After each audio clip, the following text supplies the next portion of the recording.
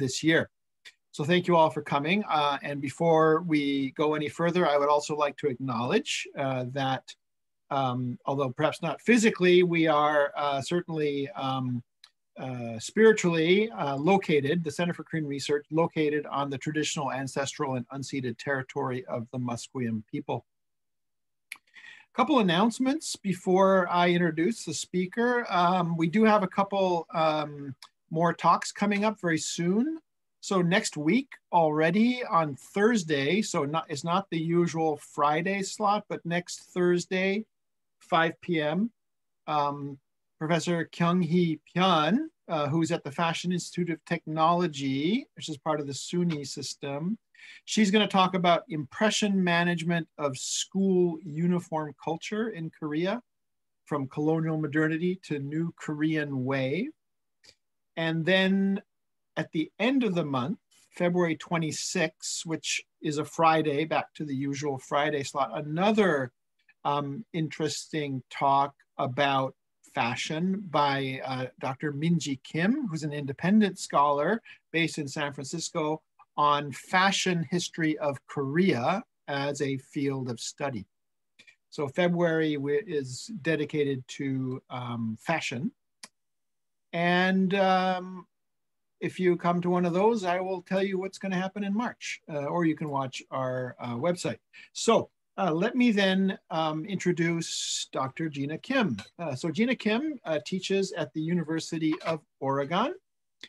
She is a scholar of modern Korean literature and cultural history, also of comparative colonialisms. And I, I see that on her webpage at the University of Oregon, she also references Vietnam in there, uh, so, uh, which, which is very intriguing to me.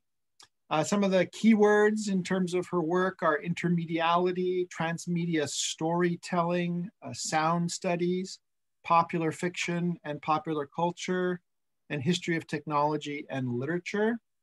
She um, did her graduate work, both MA and PhD at the University of Washington, sort of just down the road from us and up the road from her. Her first book uh, was called Urban Modernities in Colonial Korea and Taiwan. Um, and um, I should um, point out that she's in fact one of very few scholars uh, out there working in all three of Japanese, Chinese, and Korean. Um, that book was published in a Brill series, the Brill series East Asian Comparative Literature and Culture. Um, uh, and um, on that board uh, um, serve Wiebke Denecke and Karen Thornber, who are probably the only other two people out there who work in all three of Chinese, Japanese, uh, and Korean uh, in their comparative work. And that book was a comparative study of modernist literature and culture um, in Seoul and Taipei during the Japanese colonial period. She has also co-edited a, um, an issue of the Journal of Korean Studies on intermedial aesthetics, which I think is getting us closer now to her today, to today's topic, um, which was about Korean literature, culture, and film. And she's working on a second uh, book project now, um, and the tentative title for that is Sonic Narratives and Auditory Texts in Modern Korea uh, which does definitely get us close to today's talk. And the title is um, Creating the Chosŏn Wave, um, li uh, listening to the Yadam Boom on radio and stage in colonial Korea. So Jina, it's really great to have you uh, here, even if only um, virtually. Um, the uh, floor is yours. I think you're going to share a PowerPoint. And so uh, just so everybody knows, uh, when we get to Q&A, uh, please just lob your questions into the chat and then um, I'll be kind of feeding them to Jina um, uh, and, that, and that's sort of the way we will proceed. So again, thank you, Jina, and it, it, the floor is yours. You're muted. There you Perfect. go. So thank you very much, Ross, for that introduction and inviting me to UBC uh, and uh, uh, to speak. And, and I thank also the Center for Korean Research for this opportunity. Although I would love to be at UBC, um, Vancouver is one of my favorite cities. Um, it's unfortunate, but I am also very glad to be here virtually with you. Um, I will begin by, um, as Ross mentioned, the bulk of the presentation that I will be making is actually a part of a chapter for a book that I am currently working on. And it's tentatively titled um, Sonic Narratives and Auditory Texts in Colonial Korea from 1910 to 1945. Um, and this is partially, of course, derived from or a extension of my first book, which looked at uh, the building of Seoul and Taipei. It was a study of modernist literature, which was very much centered on visuality, the visual aspect of the city, the urban life, and of course, the way modernist writers dealt with and grappled with the growth of the city uh, most, uh, most interestingly in a visual way. While I was doing this research and writing this book, what I noticed was the abundance of sound that was part of colonial Korea and colonial Taiwan, which was not being addressed properly and was duly neglected. Thus, my second book project is centered around sound. And although sound production has um, been an essential component of literature and history in constructing knowledge of auditory cultures, and the ability to record um, has certainly become a very important part of modern culture, uh, it has been duly neglected. So for example, we know that in the late 19th century, with Edison's invention of the phonograph and uh, Emil Berliner's invention of the gramophone, we have now an ability to preserve, record, and listen to sound in a wholly different way. These inventions allowed live performances to be uh, played back to mass audiences at a later time and in different spaces, thereby reorganizing the way sound became mediated by materialities of technology. Shortly after the introduction in the West, the gramophone was also introduced to East Asia. As early as 1899, as advertised in early Korean newspapers such as Hwangseong Shinmun and Dongnip Shinmun.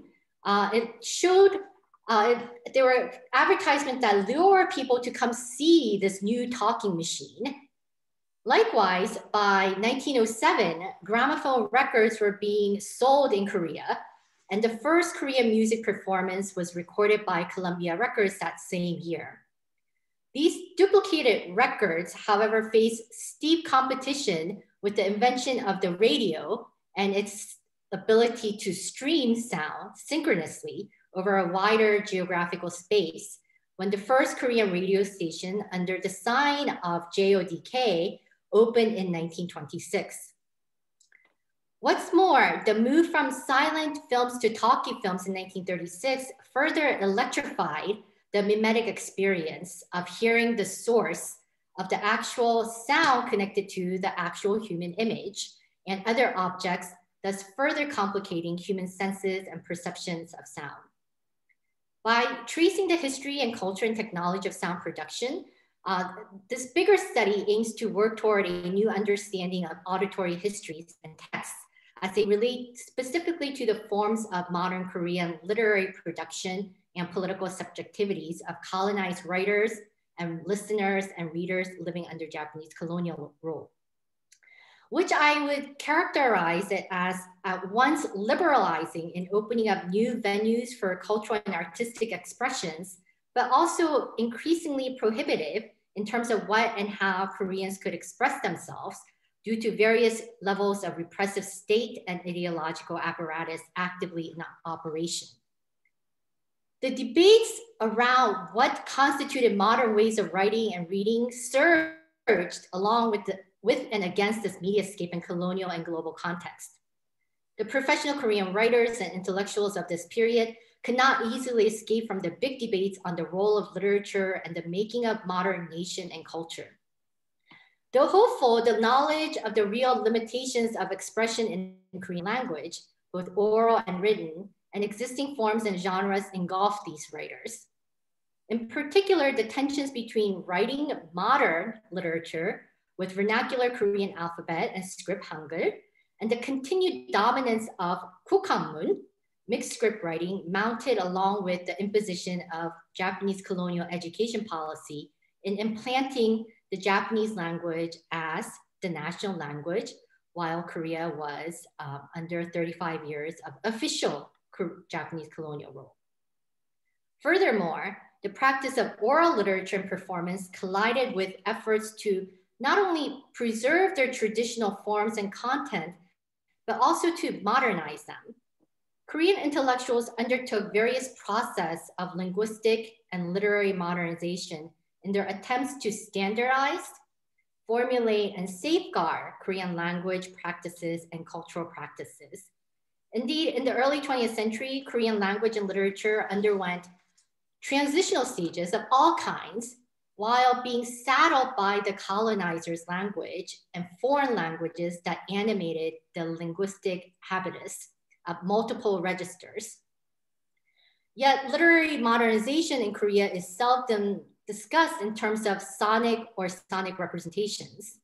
The entrance of new sound media technologies such as a gramophone, film, radio, and a microphone, however, lay bare the important elements of speech, sound, and voice uh, to the growing debate on modernity and modern literature.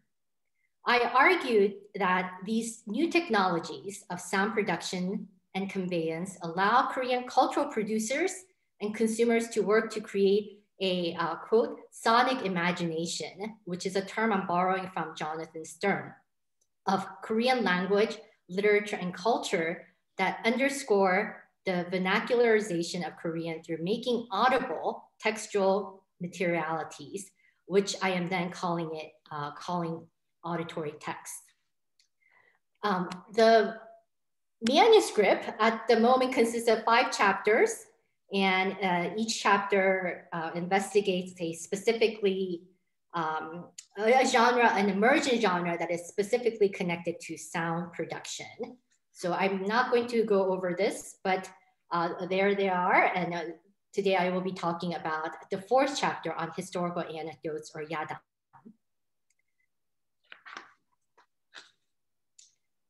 I want to, before talking about my methodology for this study, also think about um, problematizing Lee Kwang-soo's 1917 Mujeong as the first modern Korean fiction, and to think about how innovative and important as Lee Kwang-soo's work is in considering the origins of modern Korean fiction, I do wonder what kinds of transformations um, uh, of modern Korean literature, especially narrative fiction, have undergone or would un, uh, have undergone when a decade later, sound production, reproduction, broadcast, and amplification through radio broadcasting is launched. That is, how does one write for the listener? How does one listen to literature? And how does one study sound when there is no sound to listen to? My methodology uh, is still quite complicated and I still face many dilemmas. And one of the dilemmas of studying sound in the early 20th century colonial Korea is the absence of sound archive or the very limited number of materials available to actually listen to them today, despite and ironically having the technology that afforded sound recordings and amplifications was pivotal in their creation.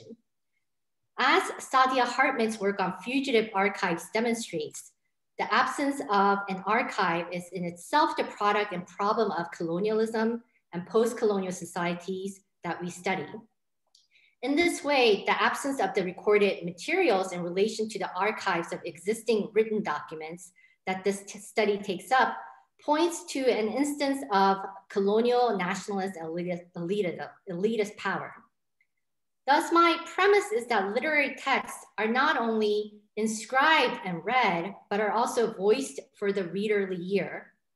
I explore this central premise from within the field of Korean literary studies, which has in my opinion, in the recent years, taken a sharp vision center turn, whereby sound has become an unduly neglected element of research and analysis. What I also noticed was that even in the study of poetry, in which sound traditionally has been treated as, a, as very important, I have noticed an interesting shift toward image and vision, which has come to be linked with, of course, rationality, science, and truth, whereas sound and voice are seen as ephemeral, contingent, and insecure. However, as Jonathan Sterne succinctly puts it, sound is just as enduring, quote, artifact of the messy and political human sphere through which we can hear new stories, unquote. Therefore, to facilitate dialogue of the sonic across various literary and cultural media, I take up the idea of situated listening and the situated listener, who is presumed to share, recall, absorb, retrieve, and activate the knowledge of sounds in order to understand the given text. Here in my study, thus, analytic attention will be paid to the trajectories and repertories of prominent vocal, rhythmic, and sonic configurations that are embedded and embodied in auditory text and serve to forge connections between seemingly disconnected registers. And I have been working on uh, um, this and organizing various panels, especially through the Modern Language Associations uh, since 2015. And uh, the Korean Language and Literature and Culture Forum, uh, which I have been part of and I had chaired in, um, in, in 2017, have been actively working on this question of sound, the sonic, and um, the voice. I also approach auditory text through intermediality as a way to address the absence of sound, as, a, as also as a way to decolonize the study of modern literature from the teleology of Western modernity and modernism. In uh, colonial Korea, uh, and the writing of modern Korean fiction existed with older intermedial, especially vernacular texts such as Yadam uh, and Sarhwa, etc., which will be, uh, and Yadam, which will be the topic of my talk today, uh, from the Joseon dynasty uh, from 1392 to 1910. I argue that these older vernacular genres were held in tenuous relationship to new technologies of literary production where the archetypical mode of performing narratives and interacting with the audience is configured by the constraints and possibilities opened up by sound technologies. I therefore find the idea of narratives across media or the concept of mediality or remediation helpful.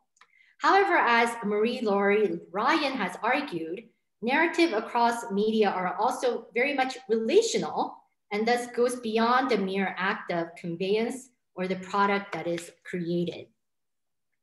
Intermediality uh, thus does not simply describe the relationship between written literary works and uh, sound technologies, but I argue that it serves as an integral interventionist strategy that colonial subjects used to voice themselves and to hear voices that were otherwise silenced uh, and inaudible or even unwritable.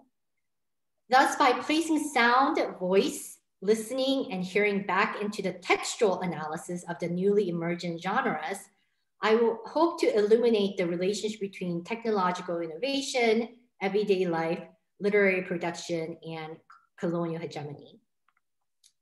So now to the uh, bulk or the, the central topic, Yadam. What is Yadam? Uh, Yadam is, I'm sure many of you know, is a compound word uh, consisting of Chinese characters, an official and talk, which can be translated in various ways in English uh, as anecdotes, as miscellany, or even um, historical romance I've seen, uh, or historical anecdotes. Um, I've also seen that uh, Korean scholars usually describe it as traditional popular literature that was also uh, that was derived from usually uh, unofficial history historical records opposed to the official court historic, historical records.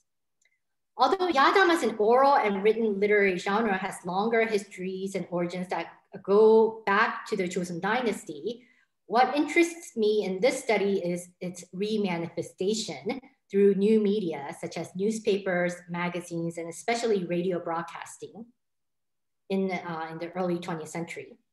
In particular, this chapter uh, demonstrates the relationship between Yadam as a prose narrative that has putative uh, oral origins and its remedialization through the advent of the radio, as well as specialty magazines, which actively facilitate the reinventing of Joseon history, which I characterize here as Joseon Wave, borrowing the name from the contemporary phenomenon called Korean Wave or Hallyu, uh, in which Korean language and past history have become more popular, visible, and audible, often combining entertainment with history to serve a pedagogical and global nationalist purposes.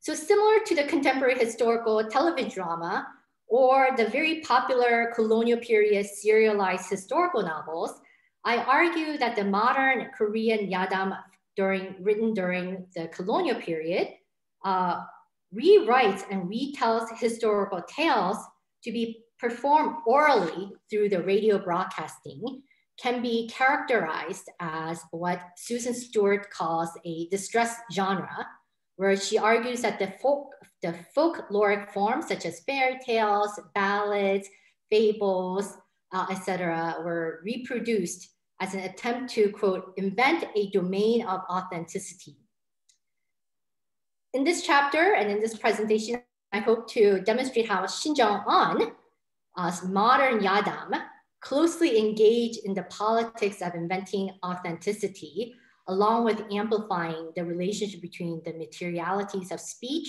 sound, and writing by making Yadam an auditory text. So who is Shin Jong-un and his text? Shin Jong-un was born in 1889, although some other scholars have dated his birth year as 1902, and was taken to North Korea during the Korean War. Um, and as a result, we do not know the date of his death. His given name is Shin Jung-woo, while Chung-on, uh, Chung-on is the pen name he began using when he started becoming more active in Yadam writing and performance in the 1930s. And perhaps this is another reason for the confusion of his birth year. Shin, along with other leaders of the Yadam movement, such as Kim Jin-gu, Yoon Baek-nam, and Kim Dong-in, belongs to obviously a group of in intellectual elites who straddles both the late 19th century and the early 20th centuries. Despite Shin's participation and activities, he has not received as much attention from scholars in either the pre-Korean literary field, the oral literature field, or especially modern Korean literature field. And I have chosen to analyze Shin's Yadam not only because he has been understudied, but because his career in Yadam writing and performance began with the opening of the Korean language radio station in 1933. So a, a, brief detour to give you some information about radio. Uh, it was announced in 1931 that uh, there would be an opening of a second station, and all Korean language station was in the plans. And in 1933, KBC station number two began broadcasting in Korean with more powerful transmitter. There was also a new kind of uh, radio set that was produced, the Neutrodyne radio, which used a new technology that would get uh, to uh, dis dissipate and uh, get rid of many of the background noises. Before this, during the first six years of broadcasting, KBC practiced dual language policy, where roughly 40% of the single day's broadcast program was in Korean and 60% in Japanese.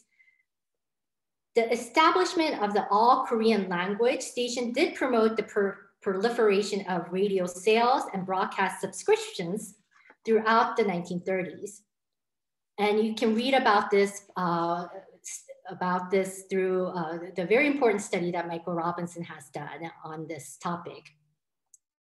More importantly, uh, this station contributed to the development of Korean radio programs.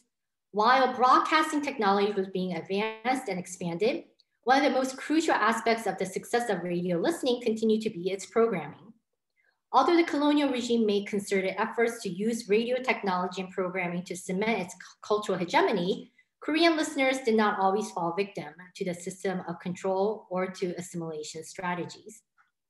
This appears to be the case, especially after the establishment of a separate Korean language broadcasting station in 1933, wherein which up to 16 hours of radio broadcasting filled with news, education, and entertainment were carried per day.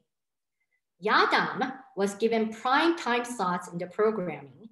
It aired twice a day, uh, once at noon, and then also in the evening uh, between 8.30 and 9.30, usually for a uh, 20 to 30 minute time slot. Yadam broadcasting on the radio went hand in hand with publication of not just one, but two magazines devoted to Yadam in the 1930s, uh, Wolgan Yadam, edited by Yun Baek-nam, and Yadam, edited by Kim Dong-in. It seems that uh, Shin's close relationship to Yoon Baek-nam also afforded Shin to publish and contribute his original Yadam stories in both of these magazines, which were two of the most popular magazines published in the 1930s uh, in terms of print runs as well as the number of uh, sales. These three authors also published their own collection of Yadam stories in the 1930s. My story, uh, my study of Shin's Yadam is based on my analysis of his Shinjeongon Myung Yadanjip, collected works of Shin, uh, which was published in 1938. Since sound recordings of Shin's Yadam performance are not extant, extant uh, I rely on uh, his written work. The seven works uh, were that were collected in this volume were also most likely uh, pre uh, previously published in uh, earlier um, prints of the magazine Wolgan Yadam and Yadam. And all the, unfortunately, I could not match up the titles of what was here in the collective collected, collected volume and the titles of the stories that he had published in Wolgan Yadam and Yadam magazines. But what likely happened was that he, he would um, um, change, uh, change especially a title to make, of course, my research more difficult. But what it seems to be, what it did seem to happen was that the basic story remained pretty much the same based on um, uh, whether it was published in the magazine versus what it was published here. And I think Shin the publisher Inmunsa likely chose the works that were previously pub, uh, published that were also most representative of Shin's writing, as well as those that were probably most well received by the audience and the readers. Furthermore, my choice of this particular collection is based on, um, on uh, my of course, own speculation that the works contained in this volume were likely radio broadcasted, if not stage performances. And I will talk a little bit more about that later when I do a close reading of the texts in, in, the, in the collected volume uh, to show why I think this was the case. Um, Shin had developed a um, so these are the list of some radio broadcast schedules in which Shin had contributed. Uh, this, um, these are oh, these are Shin Yadam radio broadcast schedule from uh, 1936 to December 1937. So the full 1937, uh, in which he seems to have uh, broadcasted at least once or twice a month. And I'm not sure if this is the most comprehensive schedule, what I did was I did a, a um, search in the Chosun Ilbo and Ilbo newspaper archive uh, to see uh, what came up when I typed in a radio program, radio schedule, and Shinjeonman.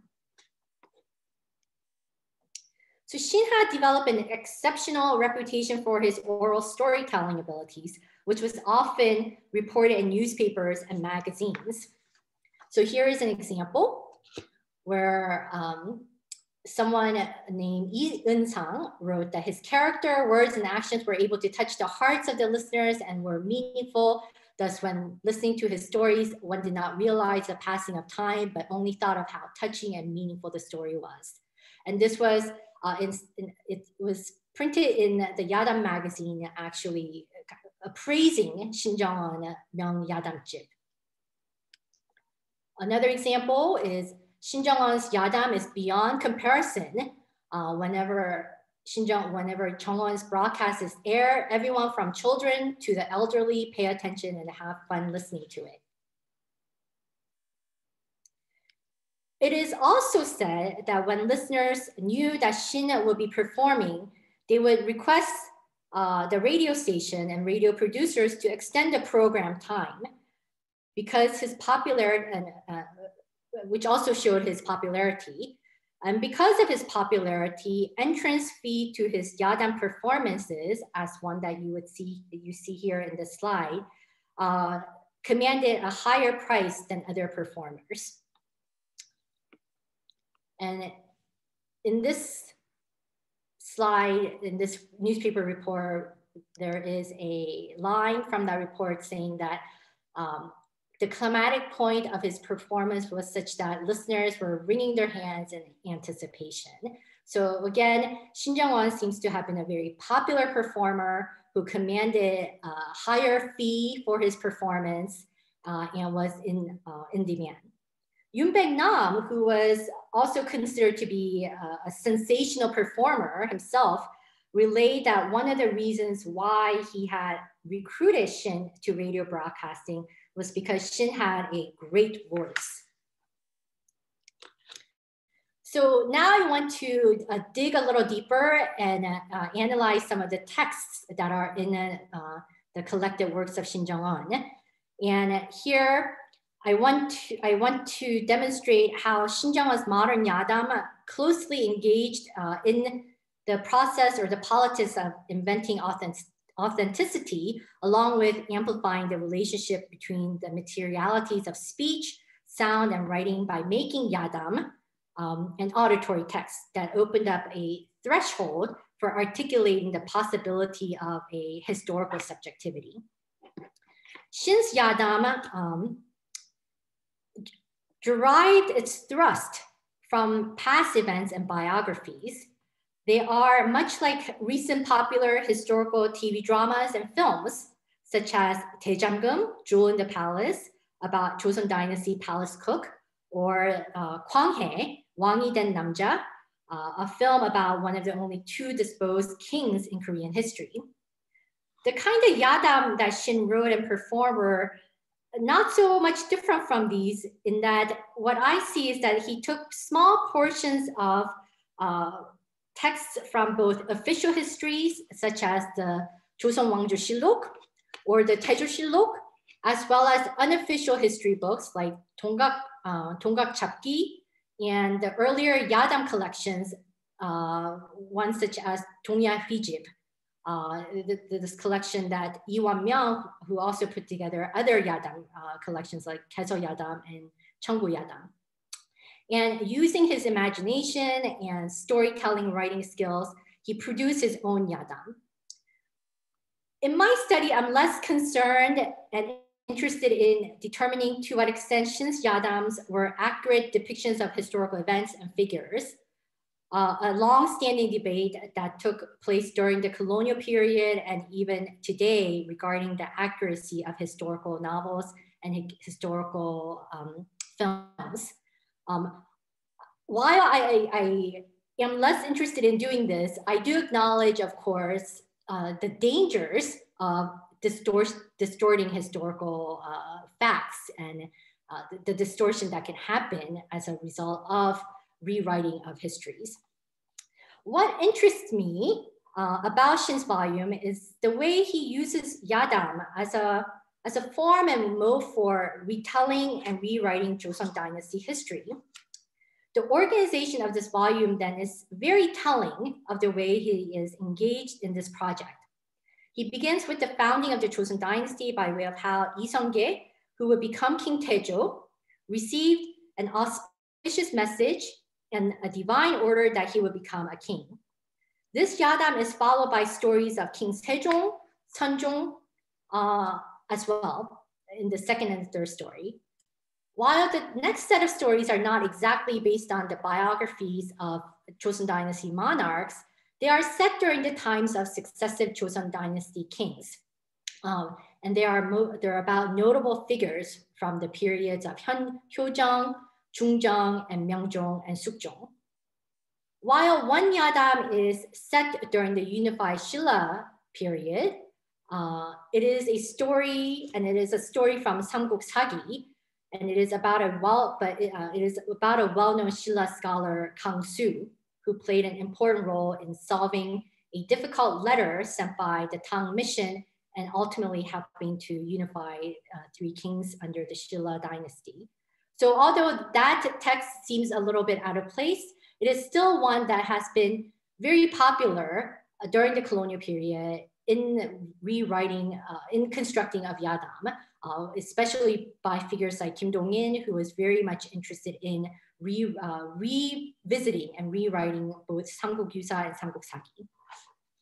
In short, uh, what Shin does in this volume is intentionally rewriting a history of Joseon dynasty, dynasty through Yadam that combines both official and unofficial histories.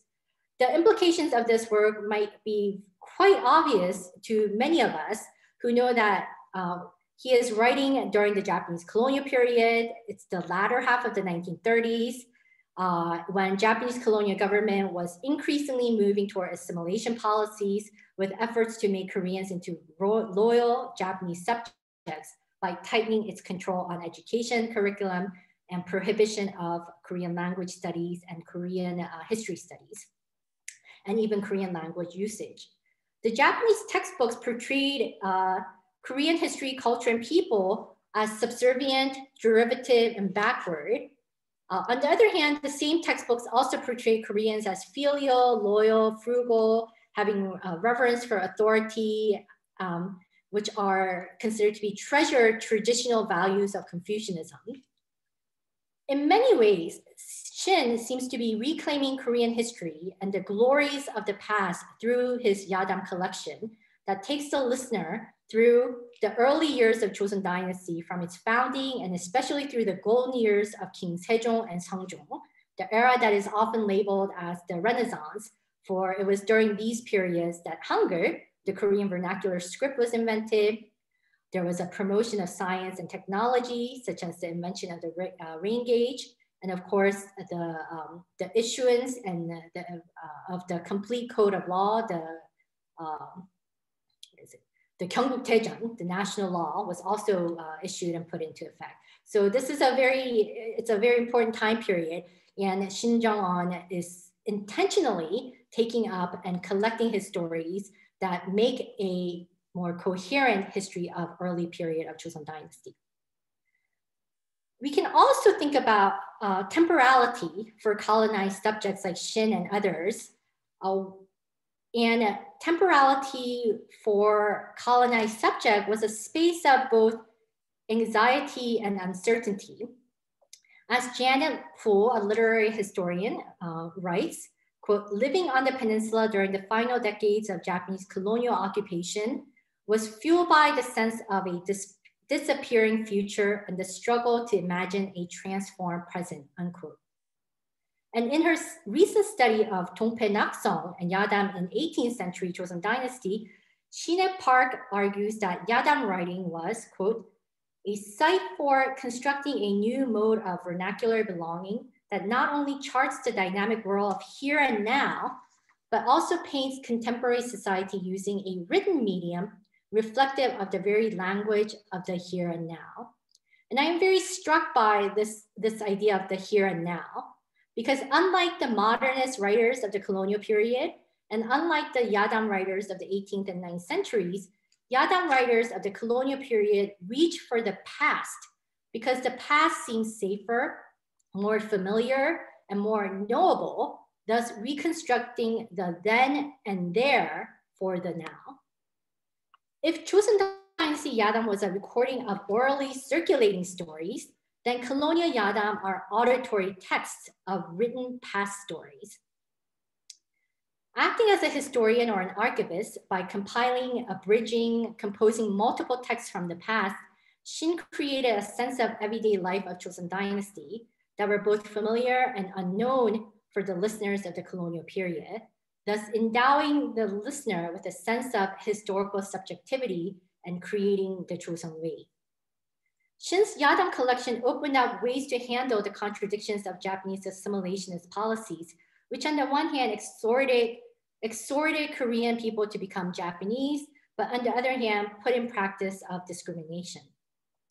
Yadam broadcast that attracted mass listeners and provided mass public education for Koreans who were still minorities in the Korean education system.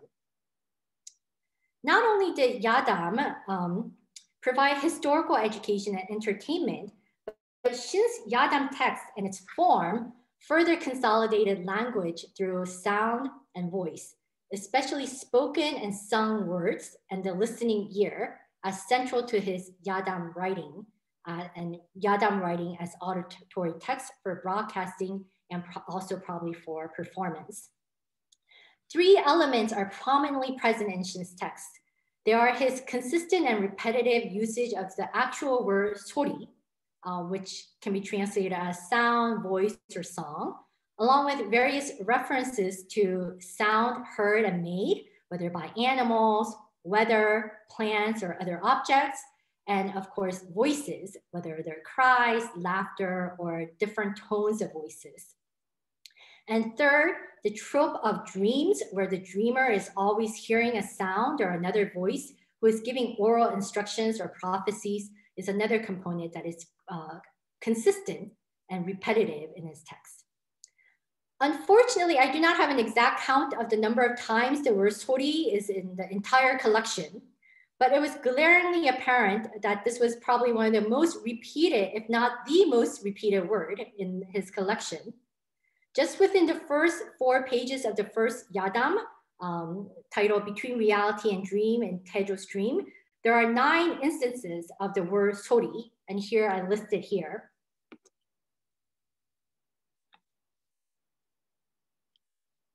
In addition to the repeated use of the word sori and its compound forms, the opening scene, as well as the subsequent scenes throughout the story, uh, is keen on advancing the story through sound production. So it is through hearing a certain sound or being called uh, and through frequent dialogue between characters uh, that is almost uh, like an Elvis Costello dialogue that goes back and forth as well as monologue that are uh, vocalized like a soliloquy is constantly present in all seven of his texts in this collection. So let's look at the, the, uh, the first opening scene of his first yadam that was, that was, that is um, collected in this volume. And here, this is just my very uh, rough and first draft of the translation of the story's opening scene. And I will give you a minute for you to uh, take a look, read.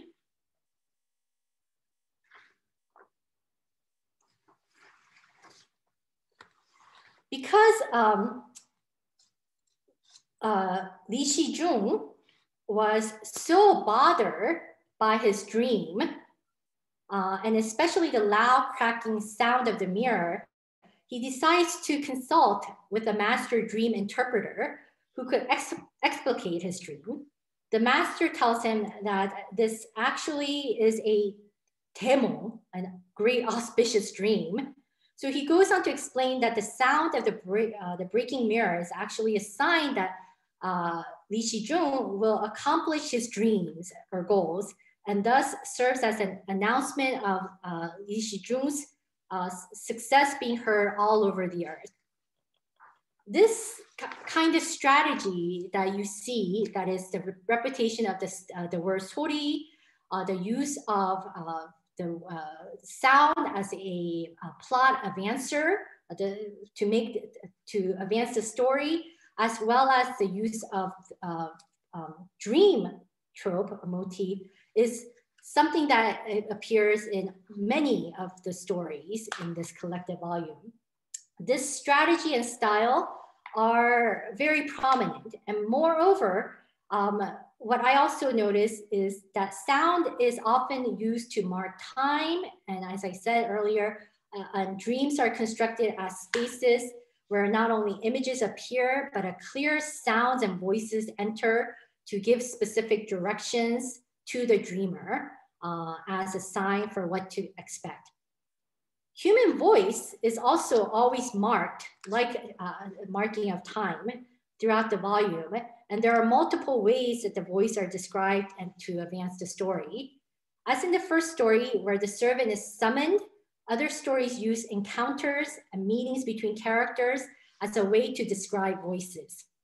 For instance, in the second story, hearing the Book of Changes on the boulder under the moon, a palace guard with a urongchan moksuri finds a visitor wandering around the grounds in the dark night, leading him to confront the visitor who seems to possess a Yeongnam의 고운 목소리, I guess a delicate accented voice of the southern of the from the of the southern province. So this further leads the visitor who turns out to be a poor, unrecognized scholar who decides to return to his home village to meet King Sejong, uh, who the poor scholar does not recognize, but interacts only through conversation and dialogue and through voice. So voice is at the center in the, um, in, in the story of King Sejong, who eventually awards him uh, the opportunity to take another civil service exam in which she was an expert in the Book of Changes. And um, to give just one last example, uh, is that voice is at the center of the story, uh, the last story. And this is a story about the scholar uh, Woo Pyong-suk, a scholar who has a terrible voice and cannot sing for his life. He is not only described as an unattractive, but as a tone deaf uh, person at multiple levels, uh, not, not only physically, but also socially. And he is invited to uh, where a gathering where other scholars and famous kiseng plot to humiliate him by forcing him to sing. And after this experience, Wu is determined to learn to sing and devotes months of his life in training his voice so much so that one day he coughs up blood, a blood clot, after which he was able to sing with the most clear, beautiful, resounding voice. And I think this is a very familiar uh, story, Yadam, uh, from uh, the past. And so the legend goes that Wu becomes a, a famed singer throughout the provinces and is known even today. So these are just uh, very few examples from the collection, uh, Shin, uh, collected volume. But what is apparent from his collection is that he was specifically finding ways to write for the audio medium that will allow listeners to have a fuller sonic experience. Yadam allowed for multiple modalities of conveyance of stories from the past, and it also amplified uh, the multiple registers of languages to be voiced and heard through the radio. Thank you very much.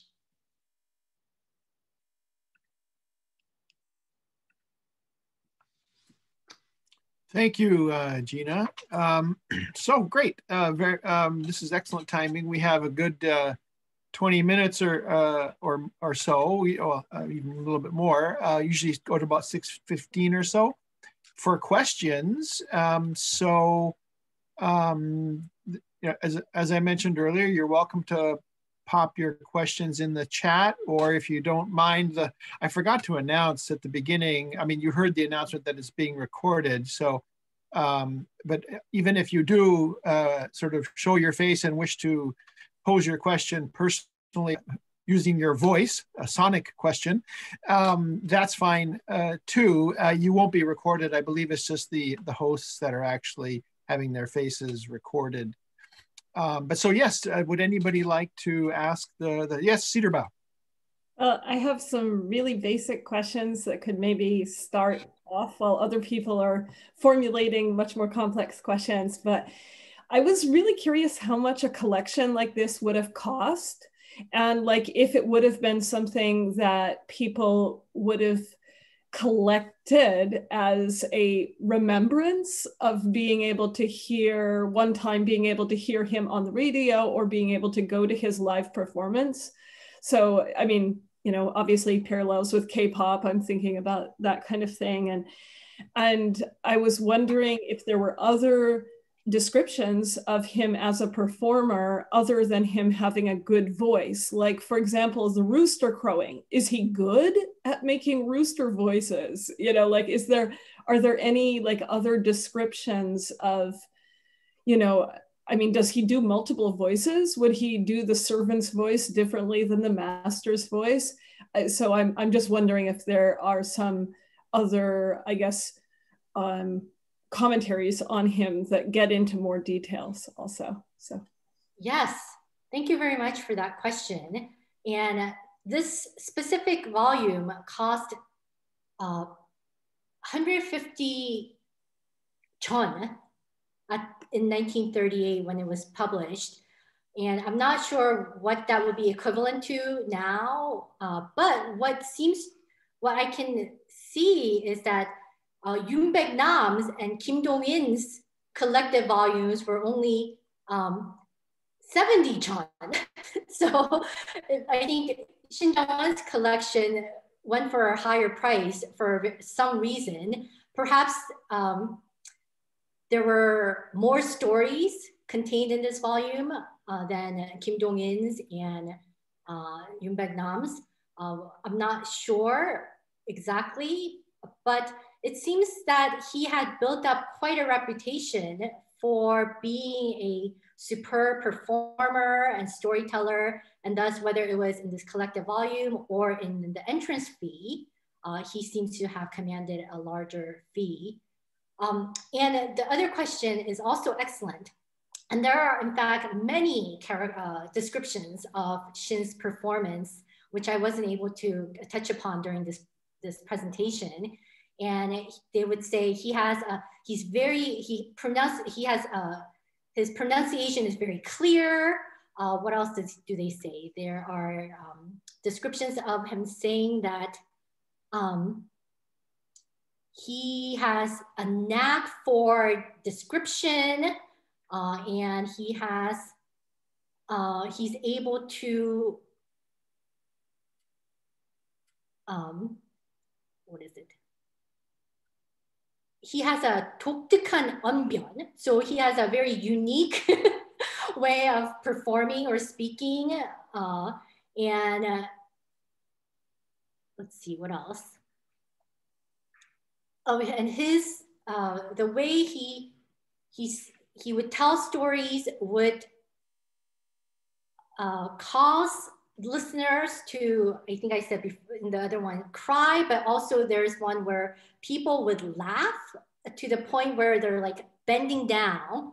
So those are the kind of descriptions that I, I found in some of the reviews in the newspapers of the time, in which they're, um, I guess, reviewing uh, his performance. And uh, um, I'm not sure what uh, the other question is very very provocative whether or not this became a collectible, right? I'm not sure this was, this is a text that was available at the National Library of Korea in a digitized form. So it was in the rare book collection.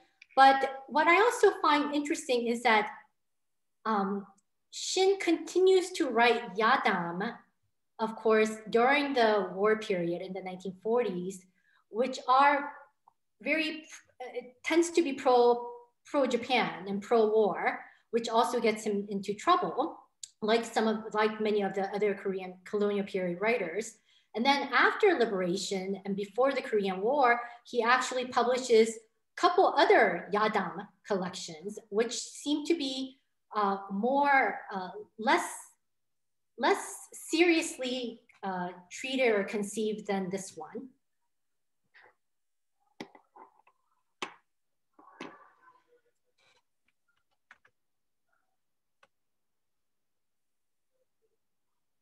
I'm just there's a couple things in chat here, uh, but they're they're coming to me privately um, from um, from Bruce Fulton here. Um, so uh, let me see if I can distill them here uh, while others formulate questions. Uh, Bruce is asking, he wonders whether written yadam were for the educated, whereas radio Yadam would be for a general public since it airs at noon and after dinner. And also he's wondering if Shin Jong-un was active in other kinds of performance, like as a pyeonsa, like with you know narrating films. Um, and um, he points out that Shin Jong-un is not listed in the Kunde Chakka Sajeon, which I think Kwon Young Min did. Um, does that mean that a Pangsong Chakka is not considered a writer? Um, and um, I would add there that I was just reading something where I think Yum Sang Sup actually explicitly sort of uh, looks down his nose at uh, this kind of genre uh, as sort of songmu, as, as something, you know, sort of vulgar. Yes, thank you, Bruce, for that question. Um, um, is, yes, not included in many biographies of writers. And I speculate, one, because he was a popular writer of popular texts like Yadam uh, and writing for the radio, but also, as I mentioned a little bit earlier, that he was also part of the group of writers who wrote propaganda literature uh, during the war period. Um, and then, of course, he was taken to North Korea, and we don't really know what had happened to him afterwards. So I think that's those are some of the reasons in which we don't see his biography prominently uh, included in some of these um, encyclopedias. Um, and then Yums, yes, um, there was definitely a status difference between elite writers, so-called elite writers, uh, and popular writers. And writers such as Yum Sang-sop in particular was very critical of writers like Shin Jong-un, and also, of course, Kim Dong-in, who began to write for literature. He wrote radio novels, as well as, of course, became the editor of Yadam magazine. Uh, and they believe that, for example, I think one of the biggest criticism that they had was that these Yadam writers were not writing to not engage in the writing of the colonial realities of the time, and thus, uh, thus they were not, um, they were participating in the capitalist system of consuming literature. Uh, and thus, the, these were, of course, the big divides that had taken place between elite writers and the so-called popular writers. But what I find in my research in this book is that there are many crossovers that have happened uh, in that people like Chae Man-sik was also writing radio novels and radio, uh, radio plays and radio dramas. Um, and some critics have said, well, it's because during the late latter, especially during the latter period, these writers had to make a living and they had to really become professional writers. But at the same time, I, I might kind of push back on that as a primary reason and think that these writers were also wanting to carve out a different mode of communication, and the popular literature was one of them. Uh, as far as who uh, is who is listening, whether or not the written yadam were being read by more adults and elite readers, and uh, the uh, radio pangsong yadam were being heard by the masses. I think, I mean, that in, in, some, in some ways that, that was also the case. Uh, but I would hesitate to make such a uh, such a clear distinction. I think many people were at, in the colonial period listening to the radio and listening to Yadam's stories. And people like Yoon Baek-nam and Kim Dong-in and Shin Jong-un in particular were engaged in trying to trying to make uh, trying to use radio as a means to um, I guess, as a means to educate or enlighten the masses. Uh, and that becomes very much visible or apparent, especially in the way that uh, the Yadam texts were written, right? It's all written in Hangul, but it doesn't mean everything's in Hangul. There are places where there are references to classical Chinese. There are many classical Chinese phrases that are included in this Yadam, but they're always annotated and explicated. And I think that serves as a, uh, as a pedagogical tool, perhaps as a pedagogical ways or means for these writers to try to not only, of course, as I said, rewrite the history of Joseon Dynasty, but also as a way for the masses to be engaged in learning history and, and, and hearing history. There's another follow-up question here from Cedarbow. um, so we know that some of these Yadam performances were put on on records, right? So do any uh, of his performances survive on records? Um, and um, how would a recording company decide or choose which Yadam performers, you know, to actually put out there on disc? Um, and if Shin was that popular, wouldn't they want to make a recording of him? And if so, are you know, is such a thing extant, or do we just not know? Yes, excellent question. And as of now, I think the only one surviving recording of Yadam is one by Yoon Baek-nam. and unfortunately, uh, there has not been one by Shin Jong-un. We have not been able to locate any by Shin which is again, I think your point is right on. If, if he was so popular and beloved, there must have been some recording uh, of record recording, a gramophone recording of his performance, but it's it has not survived, or it's we don't know about it. It might be in private collection, and that's I think one of the one of the difficulties of working on this because I think there are places where private um, there are private holdings of some of these texts and uh, recordings that might exist, but so far scholars have not been able to actually bring it together uh, into an archive in which we can actually have access to.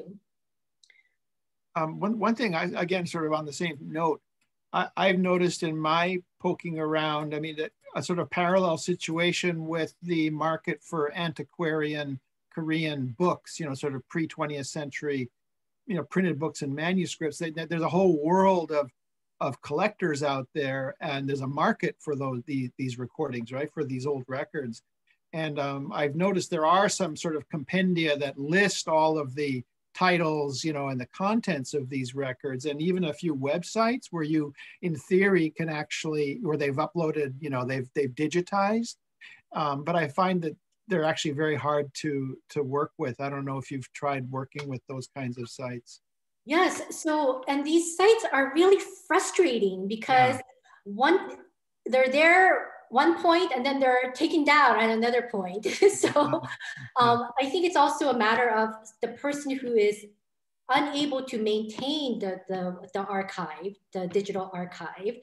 And in some cases, they have been handed over to, for example, the National Library or the National Archives of Korea, but then it becomes also uh, difficult, especially for scholars who work abroad to have sure. access to them. Yeah. Um, Cedarbow got another quick question. So weren't these, these records tended to last three to th three or 3.5 minutes, right? Yes. So was that enough time for a yadam or, I mean, would they fit in that or? No, and I think it's also, it's, um, it's interesting because many of the yadam for radio broadcasts were about 20 minutes. And in fact, many of them actually became serialized yadam stories. So they would have one session one day and then the same, uh, the same story being told, uh, the next part being told the next day. So it is, it's much longer, but I think the recordings are only just a snippet of what we get from these performances. And then going back to Bruce's question about whether or not Shin Jong-un has ever um, worked as a pyeonsa, I'm not sure. I haven't seen his name as a pyeonsa. And I think it's because his career came a little bit later uh, in the 1930s as a performer. uh, and recognized as a performer. Thus, he, I, I, don't really see him as a, I, I haven't found him as working as a pyeonsa, but it brings up an interesting point about how um, one of the ways that one might be able to approach this and to try to insert sound into these soundless text is to see and work with uh, colonial period films that have sound, right? And many times, and even up until the 50s and 60s, what we know is that many actors did not use their own voices mm. in recording their, their the film um, and the post-production. It was the voice actors who were brought in to record the, the, the voices of the actors and actresses. So it could well be that some of these um, um, performance, Yadam performers were also, uh, could have been uh, Pyeonsas, but as of, at, at, this moment, I do not know if Shin Jong-un was. Here's another question, uh, uh, Anonymous. Uh, thank you so much for your talk. Can you uh, perhaps talk about the audience of Yadam? Um, do you know who consumed these stories and their responses? Did the retelling of Chosun history change according to audience? And if, uh, since, since Shin Jong-un was active even after the colonial period, did his tellings of Yadam change after liberation? Mm, yes. Um, great question. Thank you the audience. And again, based on, of course, collected reports and reviews from newspapers and Yadam and Wolgan Yadam magazines, we find that the readership and the listenership really varied from the very young to the elderly. And what and the reason for that, and based on what I found in studying Jong-un's collected stories, is that at the basic level, the story is very easy to understand. One, even though because even though it takes place in the Joseon dynasty, which is seems to be be, uh, be far removed from present time, it also seems to include uh, many allusions to classical uh, classical texts what it does is actually to simplify those for the listener and the reader. Thus, I think is one of the reasons why it was so popular uh, during the colonial period, because for both the reader and for the listener, it was a way that history was being, being explained in a, in a simple, easy to understand and entertaining way. And I, I was um, revising and working on presenting this, I remember um, the news that came through on, uh, on one day um, regarding Seol Min-seok, I think is his name, the famous um, celebrity history teller or history lecturer, right? He became very famous because he had a program in, on EBS in which he lectured on history, Korean history. Uh, and I remember watching his program thinking, wow, you know, you're, you're kind of incorrect in that interpretation. but he did it in such a, um, such a smooth and um, easy to understand way. I could see why both uh, adults who are wanting to get a refresher on Korean history as well as young students, high school students who are studying for exams would, uh, would go to his program to, to learn about Joseon Dynasty or the colonial period, etc.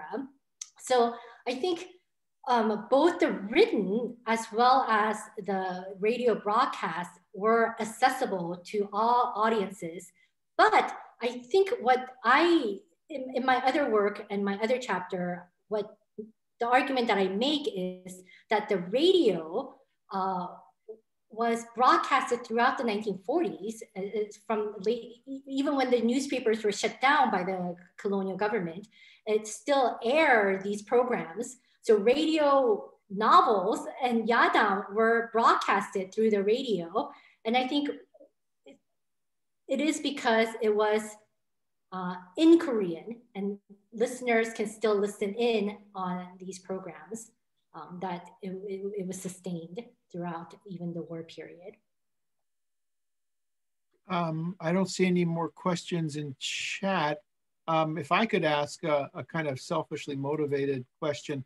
At the beginning, you talked about how writers were kind of wrestling with what a what a modern written literary Korean language would look like, and you want to shift to the sonic and and sort uh, you know yes sonic texts, and it looks like you've collected a bunch of really good kind of meta commentary about these performances or about the the sonic texts themselves. And this is right in the 1930s, especially moving into 1937, 38. This is when um, you've got Lee Tae-jun writing Munjang Kanghwa, um, where you've got Korean intellectuals and linguists or grammarians, I should say, kind of defining what it, you know, what the defining characteristic, unique features of the Korean language are and what makes it special and different from Japanese or better than Japanese. And the one thing that keeps coming up and which Lee Tae-jun is kind of responsible for making, you know, persist to this day is this idea that uh, Korean, our Korean is uniquely well positioned to convey and capture emotion um, and feeling. And then the, the word that the key word is ogam. Uh, mm-hmm. you know, so the you know ono har ocha and kamjang har kam, um, which uh, is kind of a translation of German Sprachgefühl. Mm-hmm. Yeah, except that it's for the Koreans at this time, it's something that inheres in the language itself, not in speakers. Um, and so I'm wondering if in the common, the meta-linguistic commentary you found, you find any specific uh, explicit um, appeals to this idea that uh, of affect and emotion and how these these these sonic texts through Korean and that Korean itself, the language itself, is uniquely capable of conveying that. Mm, yes, uh, uh excellent question. That's a very provocative idea and thought. And I think, yes, especially because in these um, newspaper reports, in addition to, of course, commenting on his the the, the performance and uh, the voice, uh, it is also about the way that the audience were like what ringing their what was the like wringing their hands or right they're like feeling uh, there's an active affective reaction to the kind of performances that they're they're encountering. So there's that. And then also just thinking about Jong-un's text on their own there are multiple cases in which of course koreans uh, usage of onomatopoeia are considered. Well, that, that was my next question because then it all comes down to uisongo and uiteo. Yes. And, and, and, it, and Lee Tae-jun has a long section on this in Munjang Kanghwa. And right in 1938 is when the, the linguists at the, the Hangul Hakwe are saying, look at our uisongo, uiteo, it puts Japanese to shame. Uh, and, then and they go off on this whole thing about how J Japanese is so impoverished in this way. Yes, so I think that's what I noticed in, uh, in looking at his text that in addition to, of course, all these different sounds um, that advances the story, it also has these components in which there are many, many um, like onomatopoeias uh, that are present in order to, in fact, enliven the story. Uh, and thus, in some ways, I think in, in, many cases, I thought, especially in the story about the uh, Kiseng, it reminded me of like um, Hwang Jinyi's poetry, right? Hwang Jinyi Shijo, in the way that she is this masterful uh, writer of Uisong and. And I think that's also very much apparent in Shin Jong-un. And thus, this is where I want to think about how Yadam, although it is at the, it belongs in the the sphere of popular literature is very much engaged in the, this, the larger discourse of what is modern literature, modern literature. Excellent. Well, we're past 6.15, um, so I think um, unless anybody's got a one last burning question that they have to ask before we finish. I don't see anything in chat. So unless you want to turn on your camera and lob it in right now, it's kind of going once, going twice. Um, in which case I, I would like to, um, I'm sure I speak for everybody uh, in thanking Jina for a really fascinating talk. Thank you so much. Uh, this is really um, uh, exciting stuff. I look forward to seeing uh, the book. So thank you all uh, for coming. Um, and I hope to see uh, as many of you as possible on the on February 4th um, next week, um, where we shift to fashion.